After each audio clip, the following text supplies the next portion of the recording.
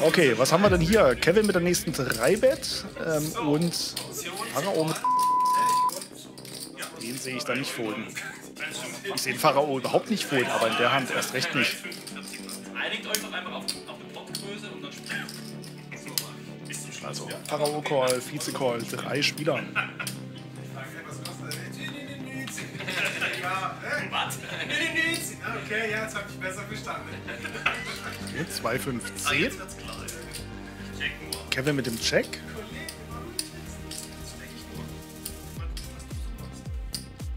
Pharao ist keiner, der, Ja, der dann auch checkt. Pharao wird ja auf alle Fälle eine Bet anbringen. Wie ich ihn kenne, wahrscheinlich so zwei. Nee, er checkt. Ah, noch eine 10. Guck mal, Kevin jetzt hier eine äh, Bet anfasst. Ich glaube, Kevin will noch einen Riesenpot heute spielen gegen Pharao. Das habe ich so im Gefühl. Die sind so deep jetzt, die beiden. Das sind ja auch unsere Protagonisten heute. Der Rest ist ja nur so Beiwerk.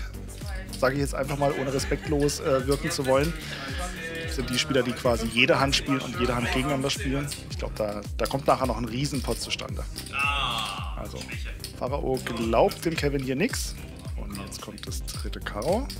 Kevin checkt. Ja, kurzer Blick auf den Kontrollmonitor. Der Pharao guckt immer, äh, wie viel im Pot drin ist. was ist das?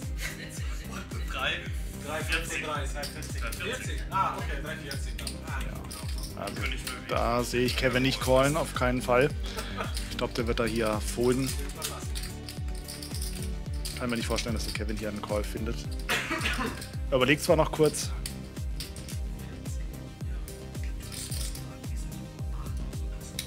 Nee, er callt sogar.